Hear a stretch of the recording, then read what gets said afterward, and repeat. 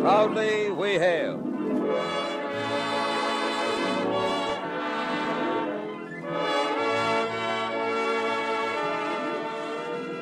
And now another Proudly We Hail, one of radio's outstanding dramatic half hours, starring Lee Tracy and presented transcribed by your Army and your Air Force.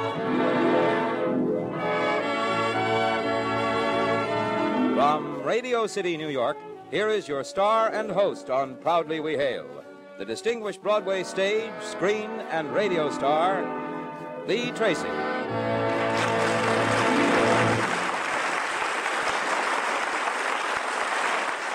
Thank you, Kenneth Banghart, and hello, everyone. Welcome again to Proudly We Hail.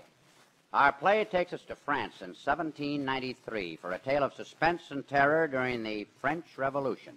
After Ken's short message, we'll be ready to begin the first act. The United States Air Force needs trained veterans now. Yes, the Air Force needs radio and radar technicians, engine mechanics, communications technicians, weather technicians, and many other specialists.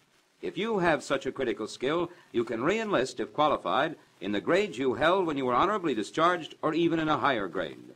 For complete details, go to your nearest United States Army and United States Air Force recruiting station today. And now, with your star Lee Tracy in the role of John, your Army and your Air Force present the proudly we hail production of Ride by Night.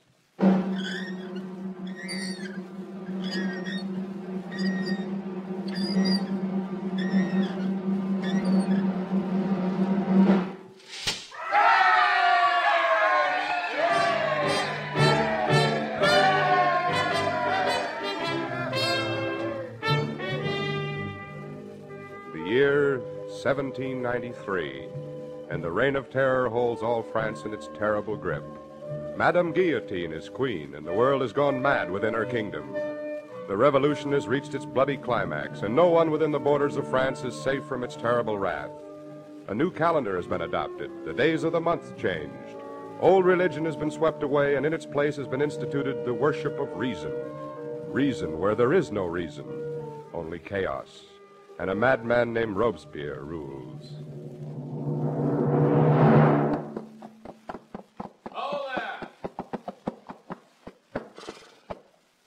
The citizen is in a hurry. Wrong, the citizen is not in a hurry.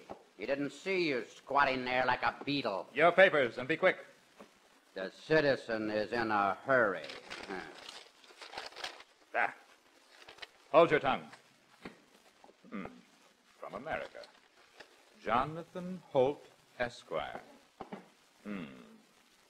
And what brings you to France? I wanted to find out if it was true that everybody was interested in everybody else's business. It is true, Citizen Holt. We are all equal here. Where are you bound for? The moon. And I'll thank you for my papers. Not so fast. How do I know these are not forged? How do I know you are not an aristo? How does an American speak French so well? My mother, poor woman, happened to be born in your fair land. Thus, my knowledge of the language. As for the other, you'll have to take my word for it. Ah! Why should I take your word for anything? I can see from your ugly face that such a suggestion is pointless. So, hand over those papers before I put a bullet in your head. Why, you... Put it you- down. All right. Now throw your rifle over there in the bushes. Come on. Come on. I don't have all day. The citizen will regret this. Now hand me those papers and no tricks. I mean business. Now, friend guard, listen well. In my country, we treat our visitors with kindness. We make 'em welcome. You should learn a little of it. You want to know where I'm bound for? Ask with courtesy, and I don't mind telling you. This road leads to Paris. That's where I'm bound. Good day.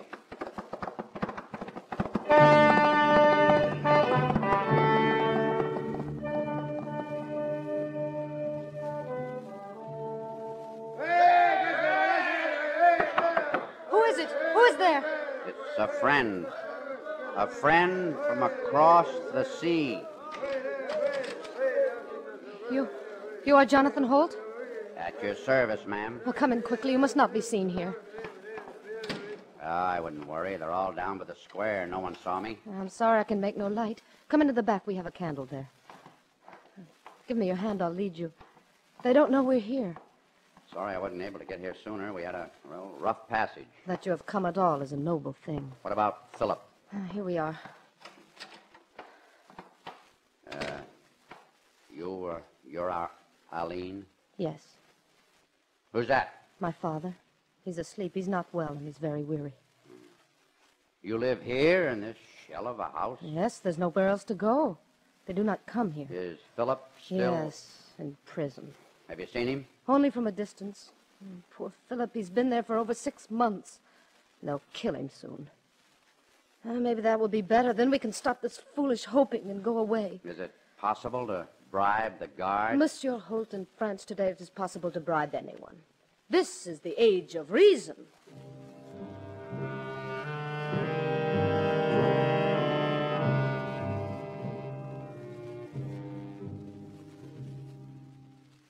Go now. We can never thank you or repay you for coming here like this. Somehow, now that you're here, I, I do not feel it is so, so hopeless. My father will be most happy when I tell him. I can't promise a thing, but regardless of what happens, I'll see to it that no harm comes to you or your father. Ah, you're a very gallant man, and probably not a little foolish. You must watch your tongue and go very carefully. That's good advice for anyone. I'll be back tomorrow night. Now remember, mademoiselle, if the Bastille could be broken into, then this prison can be broken out of.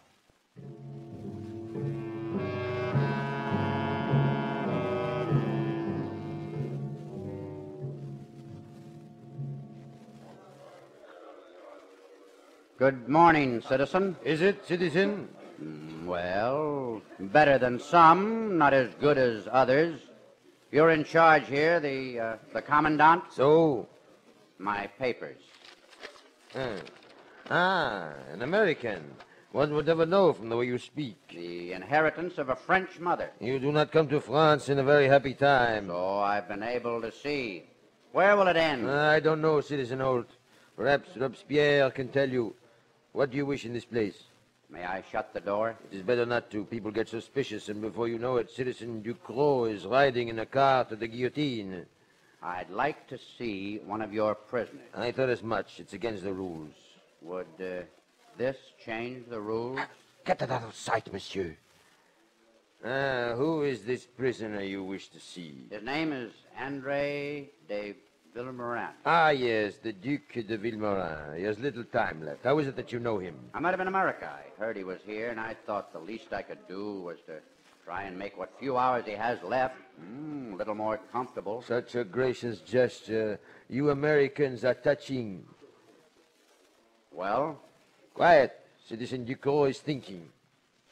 Ah, If you were to put what I saw you take out of your pocket between the open pages of this ledger, I think it might be arranged. In a few minutes, the prisoners will be allowed to air themselves in the courtyard. I shall give you the pass of a prison inspector. Go through that door and down the steps. The guard at the gate will let you in. And when you're through, and I will not stay too long, return here. Agree? agreed.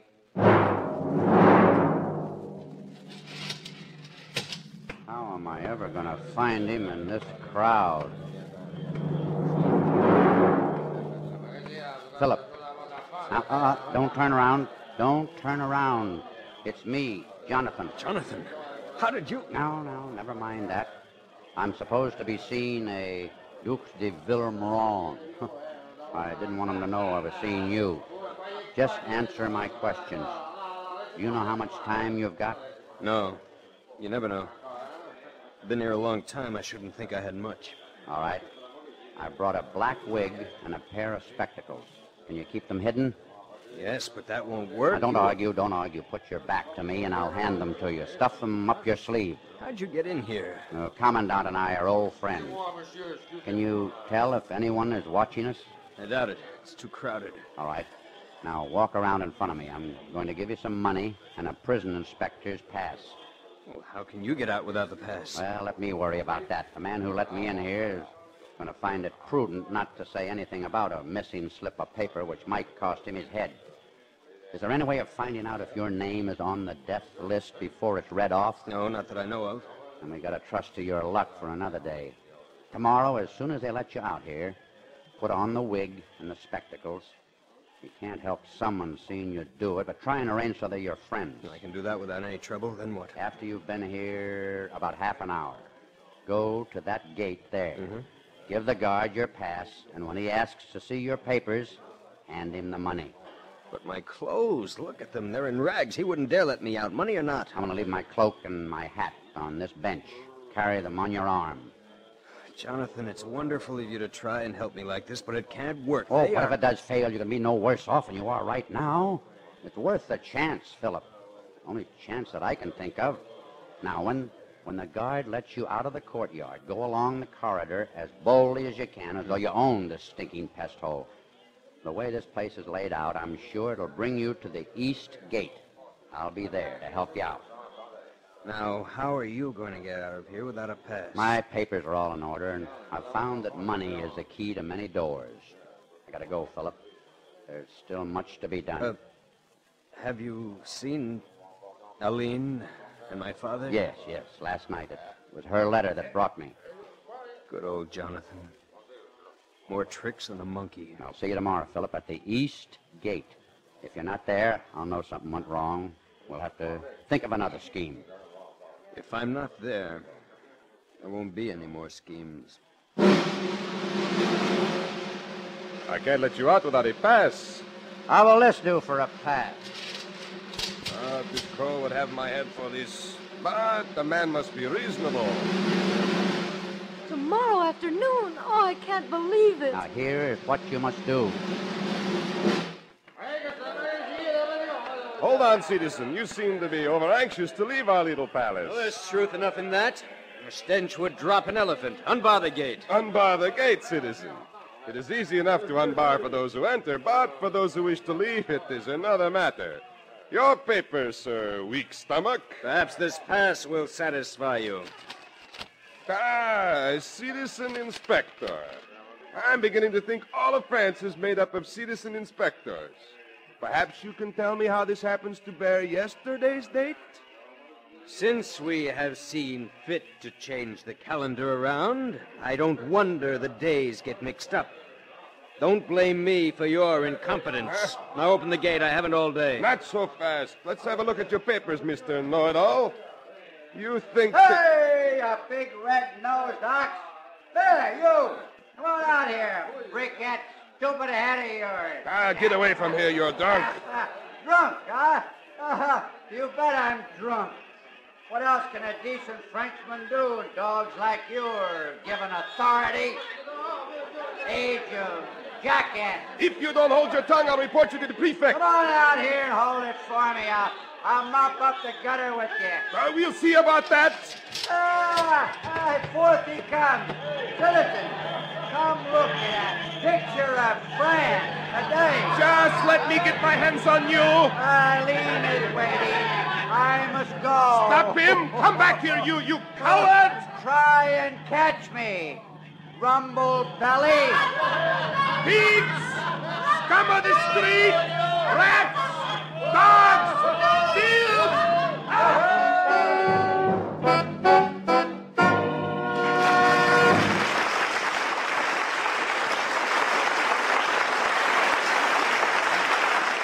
Lee Tracy, starring in the role of John in the Proudly We Hail production of Ride by Night, will return for the second act in just a moment. Here's a word about the vital job young women are doing in the United States Air Force. Women in the Air Force work on equal terms with the men, are doing interesting jobs, jobs of vital importance in support of the United States Air Force.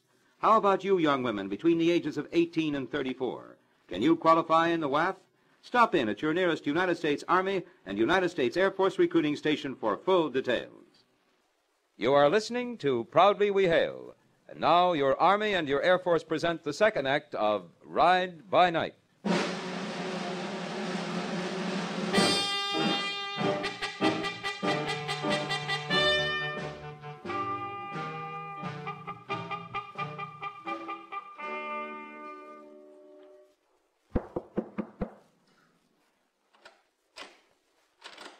Did Philip get here? Yes. Yes, he got here. Oh, where is he? Huh. What? What's the matter? He's in there with Father. Father won't be going. Oh, I see. I'm, I'm terribly sorry. Thank you. He was very tired. Helene's told you? Yes, Philip. I, I, I don't like to rush you, but time is precious, every second of it. We've got to leave right away. I know. Perhaps it's for the best. Father would have been only a burden. Never would have wanted to be that. You mean we, we can't even. He's with God. That's all that matters, Aline. The rest. Well, it's ceremony, we have no time for it. John, you were superb. I thought my goose was cooked. I didn't even recognize you until you started to howl at the guard. We can talk about that later. Aline, you look fine in those peasant clothes, but you look too clean. Get your hands good and dirty and smear dirt on your face. Pull your hair down. Make it look straggly. You look, yeah, just right, Phil. I should after six months in that stinking hole. I'll change my clothes and we'll get started. I gotta get out of Paris before they close the gates at sundown. With luck, they won't know you've escaped until tomorrow. We gotta put as much distance between us and this place as we can. Where are you going? To say goodbye to my father.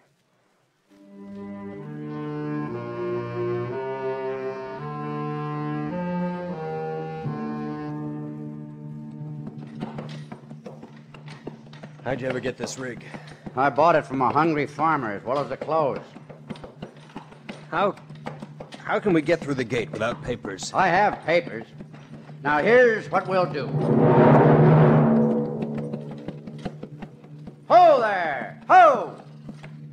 Ah, here are my papers. Ah, to those two sleeping beauties back there, they ha, they have no papers. They're escaping aristos. I can believe that. You should. I can tell you another. I'm, I'm not really Pierre Blanchard. I'm the ghost of, uh, of Louis on its way to England. Listen to this one, Jacques. He's got a belly full of wine or he's gone mad. No, no, they're, they're the ones that are full of wine. I'm just in a hurry to get out of here before someone accuses me of plotting against the Republic and goes, Yes. I know. I know. France is mad. We're all mad. Here. Pass on, Pierre Blanchard. You just made it in time. The sun is nearly down. We'll close the gates now. can't go any faster, we'll attract attention. Somehow we gotta ditch this thing and get hold of some horses. We should be almost to Saint Germain. Why don't we leave the cart on the outskirts and walk into town? We might be able to buy some horses. No, we're apt to be noticed. In these clothes, people can't afford to buy horses. After dark, no one buys a horse unless he wants to arouse suspicion. Well, what do you suggest then? I suggest that we skirt Saint Germain altogether and head north. That'll leave us two escape routes, either Calais and a ship to England, or crossing over into Belgium. Well, that still doesn't tell us how we're going to get horses. I know. Well, we just have to go on like this for a while. Trust to luck.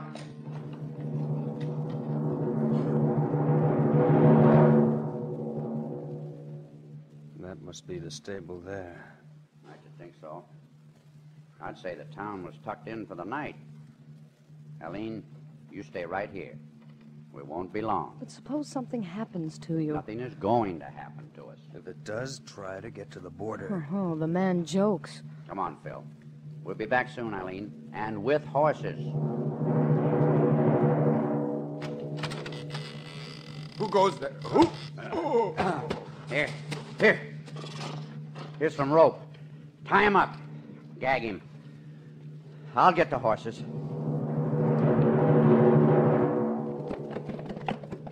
It's almost daylight. Had a long ride. That pine woods there. Looks like a good spot to hide for the day. What about food? That's what's in the sack. Not much. We'll have to make it last.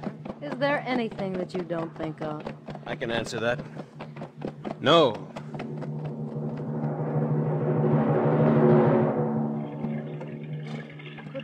Along the bank of the river and cross by fording? It's in flood. We could never do it. This is the only way. But there are guards at either end of the bridge. And if that patrol that went by during the day was looking for us, they'll be on the lookout down there. Yeah, yeah, true enough. Still, we've got to cross or make a wide detour. and forget about Calais in the bargain. Mm. Well, if we rush them. No, no good. The bridge is too long. They'd be waiting for us at the other end. Oh, it, it seems hopeless. Well, bluff has worked before. Gotta make it work again. Aline, tie up your hair in this neckcloth. Philip, give her your jacket. You can wear my pants. Oh, but- Now, don't worry, I wore these things over the clothes I had on. Now, this is our this is our plan.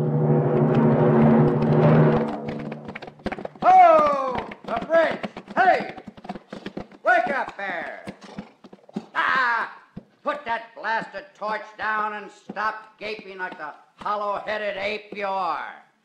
Has anyone, anyone, passed over this bridge in the last two hours? Why, why, no, sir. Not that I've seen. Are you sure, fool? Think hard. May mean your dirty neck. There, there was only the coach, sir. But that was just after sundown. The coat! The coach, you imbecile! And you let them cross? Their, their, their papers were all in order. They were stamped by the. Stamped by the devil. They were forged. Didn't the patrol give you a warning to be on the lookout for an escaped enemy of the Republic? Well, did they? Yeah, yes, sir. But they said uh, there were probably three of them. And there were four in the carriage. Ah, you idiot. One of them was a prisoner of the other three. Lift the gate and thank your patron saint that I'm in such a hurry. Open it up, I say. Forward! What are we doing to get ahead? Jump it and ride for your life. I say we make for the border. They can't watch every foot of it, whereas they can watch the docks at Calais. I agree. That seems our best hope. Our horses are nearly done in. We've come a long way in four days. Do you know of any particular place it would be best to cross over? Well, this is the road to Cambrai. I say we pass to the south of it and head for Le Cateau. Then make for Maubeuge and cross on the north side of the Sambre. You know the country? Somewhat. Good. Now we'd better find a place to rest for the day.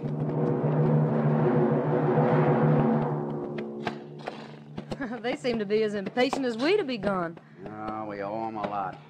Are you ready, Philip? Ready. All right, you lead. Who knows? Perhaps by tomorrow we'll be in Belgium.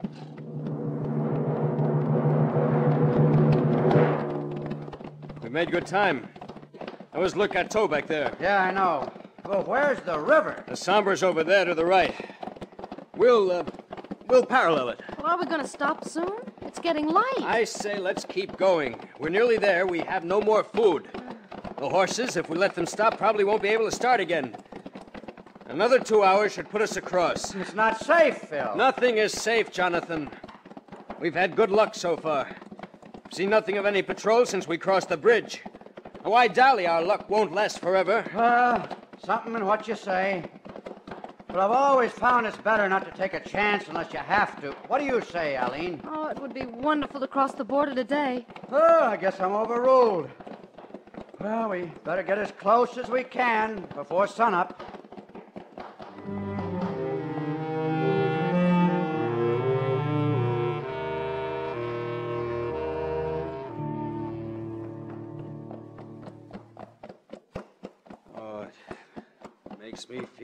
Naked riding in the daylight. Nobody's paid much attention to us. No. Now, how much farther? Huh? Oh, oh no! Right into the arms of a patrol. A patrol, they couldn't be behind us. They would have to be in front of us. Oh, we'd better start moving. North is best. They trap us at the river. Come on!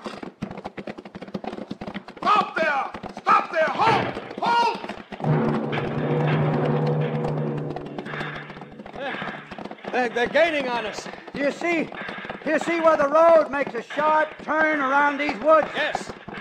As soon as we reach it, pull into the woods and stop. The brow of this hill will hide us. When they come over it, they'll think we've gone on around the curve. They've stopped shooting. They can't do much shooting over the top of a hill. All right, now rein up. Follow me. Here they come. Now, start praying. Easy there, old boy. They- They're pulling up. No, no, they're following the road. We don't have a moment to lose. Forget the road. We'll take to the fields and head straight for the border. Come on.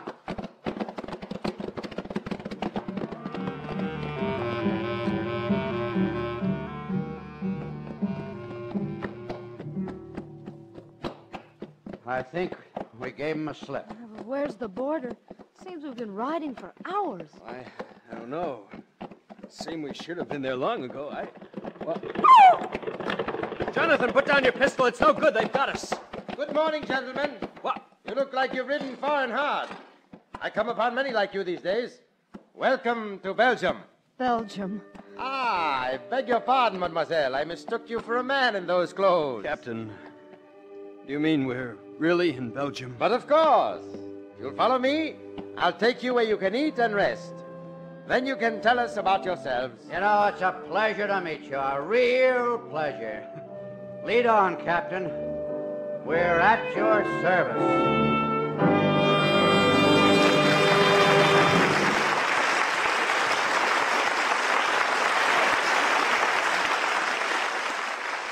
Our star, Lee Tracy, will return with a word about next week's program in just a moment.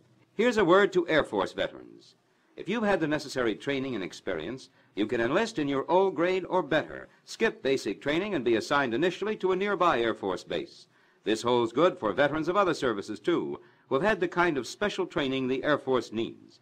If you are qualified in radio, radar, maintenance, weather, armament, photography, and many other fields, there's a place for you. Stop at your nearest United States Army and United States Air Force recruiting station and find out where you are needed on one of the world's greatest teams. Enlist in the Air Force now.